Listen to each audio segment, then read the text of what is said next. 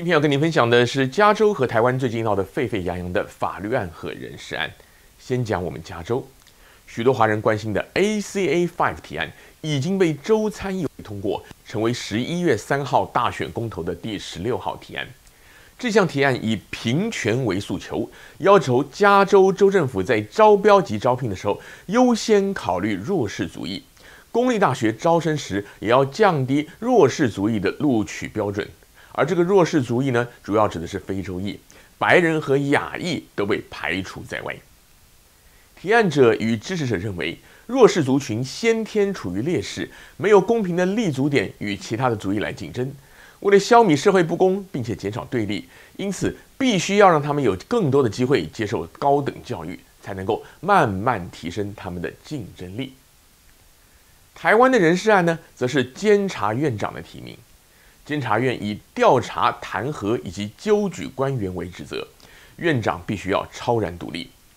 这一次，民进党提名了曾任总统府秘书长以及高雄市市长的陈菊出任，引发国民党为首的在野党强烈的反弹。而国民党为此也陆续采取了占领立法院议场等等的行动，企图来阻止审查程序的进行。而在立院占绝对优势的民进党，则宣布不管陈菊能否出席备询，都将在台湾的周五如期表决。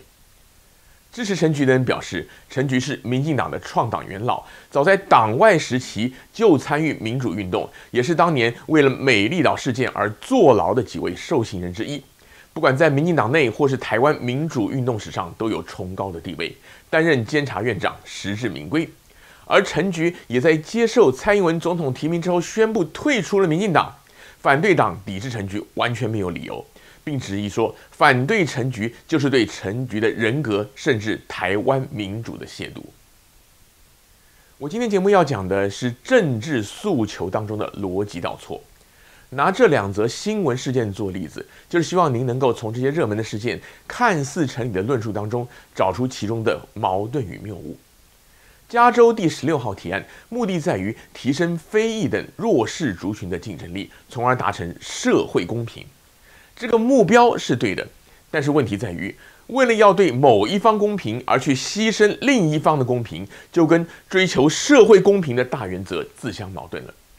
现在为了要让非裔更容易进州立的大学，就要让白人和亚裔等等面对比较高的门槛，完全不合公平正义。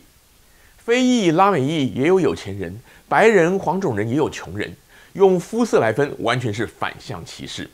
再者，加州是多元种族大熔炉，很多人都混有不同族裔的血统，要怎样才能定义谁是哪一种人？这是谁说了算呢？类似的平权法案不是第一次提出，主要针对的也是由于历史因素，百余年来都受到不公平对待的非裔。如果研究美国的历史与非裔的平权史，不难发现，非裔的确处于很多先天的劣势，一直到现在。但政府要做的，应该是投入资源，改善非裔社区的环境，包括治安、基础建设、卫生、教育、社工、福利等等，从根本慢慢的提升，而不是以为给他们加分念大学，就可以提升他们的生活品质与社会形象。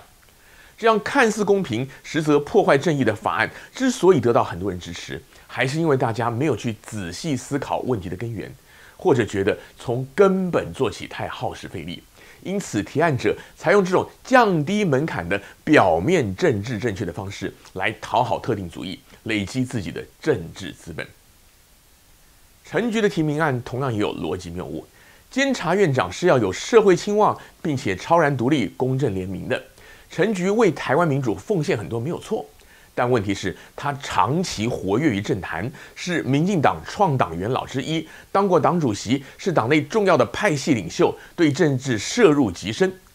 这样的人放在其他的部会都没有问题，但是放在监察院还当院长，未来监察院能否真的担负起御史大夫的重任，调查弹劾纠举民进党主政下的政府，当然值得讨论。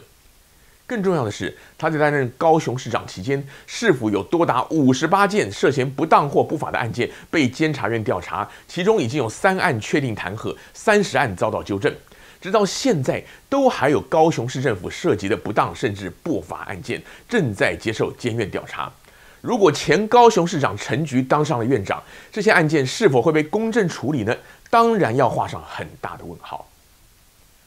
对人不对事是华人的文化当中很糟糕的一部分。反对陈菊当监察院长，并不等于否定陈菊这个人。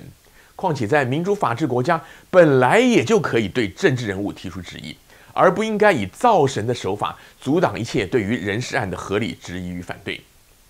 这些逻辑上的谬误，相信民进党不会不知道，只是他们觉得大部分民众不会仔细的思考，也不会在意，搞得清楚的人也只会是少数。而充其量，这些人也只能狗吠火车而已。